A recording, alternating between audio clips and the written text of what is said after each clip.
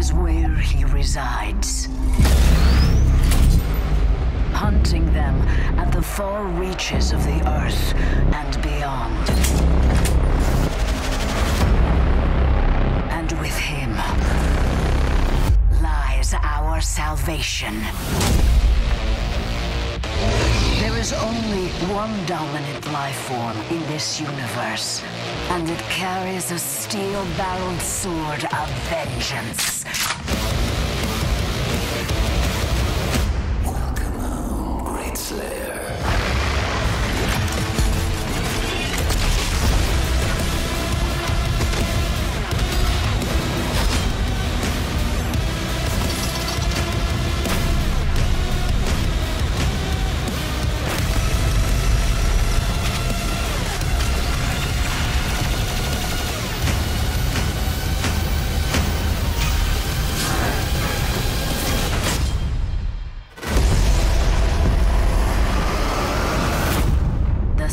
Slayer's time is now.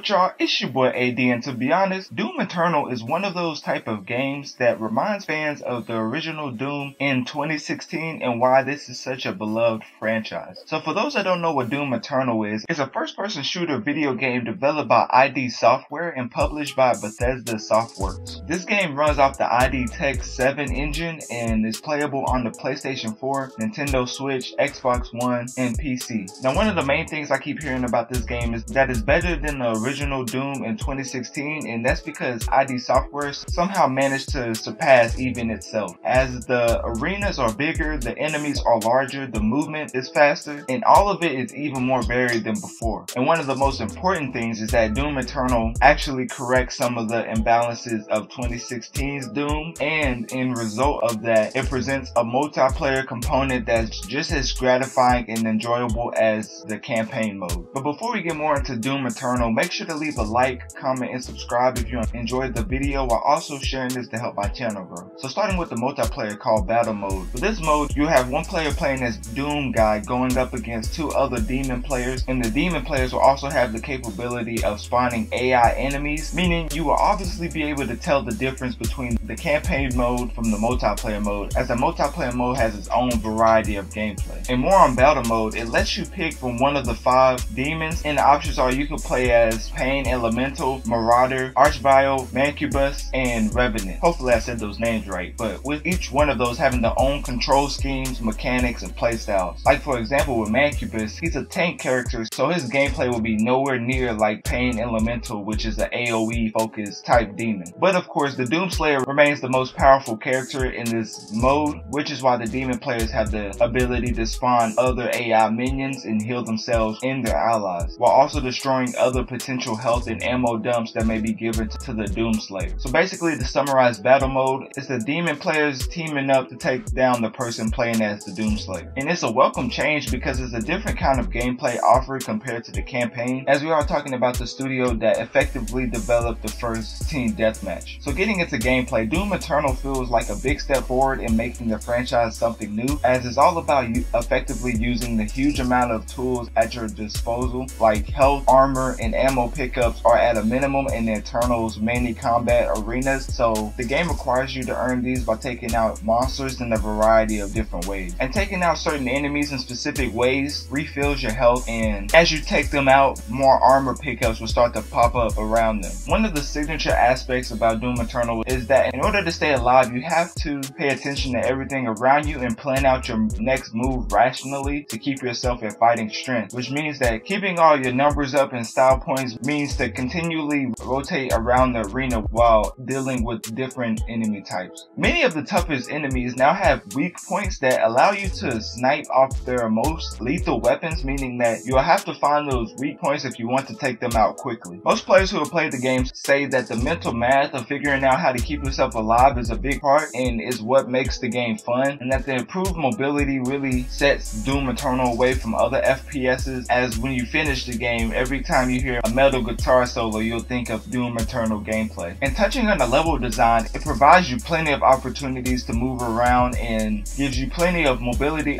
options to constantly give you your next target and gives you a plethora of options to take out the different enemy types. All these mechanics coming together just makes every fight feel really fast. Once you get the rhythm of Doom Eternal, it becomes a brilliant extension of what made Doom's 2016 so unique. And lastly, getting into the story, I heard that the campaign takes you around 16 hours to complete and also it feels like a fundamental shift from the jokey style of Doom 2016, meaning that Doom Eternal is more serious. And the majority of the story I've been told is pretty tough to follow if you don't spend time braiding through the many collectible lore drops scattered around every level. But thankfully keeping up with Eternal's confusing plot isn't really that necessary because of the main focus being to enjoy the gameplay. But getting into the pros and cons, starting with the cons. Only have one con for Doom Eternal because this is a really great game. And since every other game is getting pushed back for this year, this may be game of the year, but I'm not certain yet. But one of the main things that people say about this game that's a slight negative is that the battles become kind of repetitive after you put a certain number of hours into the game. And then getting into the mini pros I have for the game is really intense and tough to fight certain enemies, so it's definitely rewarding when you take them out. They have clever platforming to get you around the map and just making going around the environment more satisfying. And that leading into my next pro, Doom Eternal has a lot of large secret field maps, meaning that if you explore a line to the game, you may find a certain secret section in the map that you wouldn't have otherwise if you wasn't paying attention to detail. And then lastly, one of the things that's expected from Doom Eternal, but still nice to see that they follow through, is the huge selection of weapons and mods. Now getting into the fan reviews, starting with the first Twitter user, he says Doom Eternal color appreciation tweet. This is him basically showing some snapshots of Doom Eternal as the game really looks great as you can see right now in the background. This is one of the best looking FPSs to come out in 2020, if not the best. And then moving on to the next Twitter user, he shows a fan art drawing of Doomslayer and says that Doom Eternal is 10 out of 10. So you already know how he feels about Doom Eternal as whenever you have fans making sketches of your game, you really did a good job in the game design in inspiring other fans to make drawings of your character that you created. And then getting into the last Twitter user, he's talking about the multiplayer experience and shows a little snapshot of that. So you can see that the fans are having just as much fun with the multiplayer as they are with the campaign. And then getting into critic reviews, starting with IGN. IGN gave Doom Eternal a 9 out of 10 saying, Doom Eternal is one of the best first person shooter campaign in years. Its brand of fun remains unmatched in FPSs. And then moving on to GameSpot. GameSpot gave Doom Eternal an 8 out of 10 saying, Eternal's multiplayer is a fun change of pace, especially with the opportunity to play as the demons. But its steep learning curve means it's a bit alienating to drop into, particularly if you haven't put significant time into the campaign. And then lastly, with Metacritic, we have the Xbox One version having an 89 out of 100, with the user score being a 7.7 out of 10. And then you have PlayStation 4 version at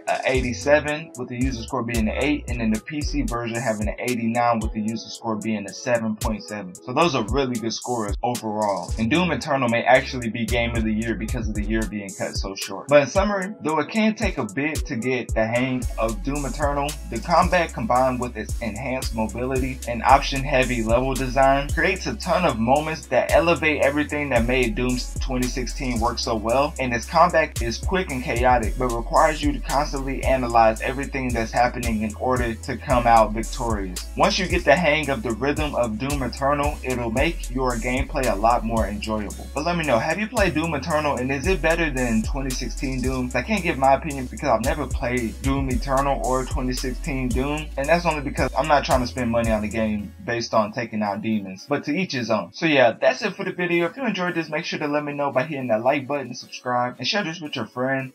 Neighbor, dog, or just send this to the person across the street wanting to shoot at demons for 30 plus hours because without them, this wouldn't be possible. And with that, I'm out.